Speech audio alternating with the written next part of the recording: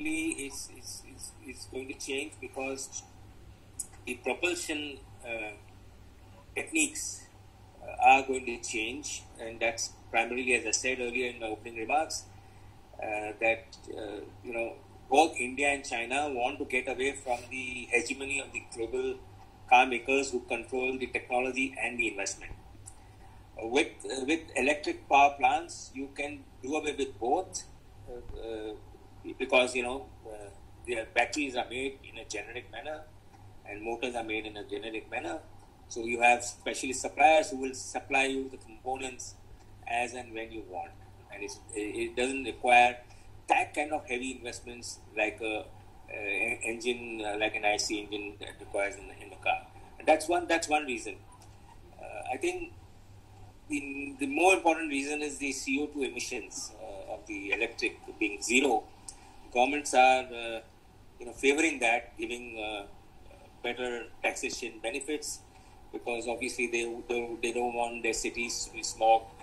Uh, I remember about five years back, there were there was a lot of uh, there were a lot of news reports uh, of Beijing and Shanghai, you know, covered with smog, and a lot of expatriate managers actually left uh, China. Not to, they didn't want to be posted there, and that's exactly what happened in Delhi.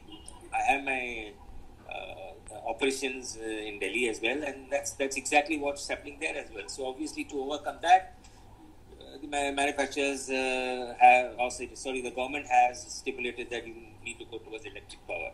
Some of you, some of your students, or some of you might question the fact that are we moving the emissions from the tailpipe to the power plants? yes, we are. I mean, in the short term, we are. Till those power, still those power is generated through renewable means sun, uh, through solar power and through wind power, which is happening. Uh, it's happening quite fast actually. And then of course we'll be out of that uh, uh orbit of you know the vicious circle of, uh, of power generation through coal and therefore being, being polluted and being, and all that.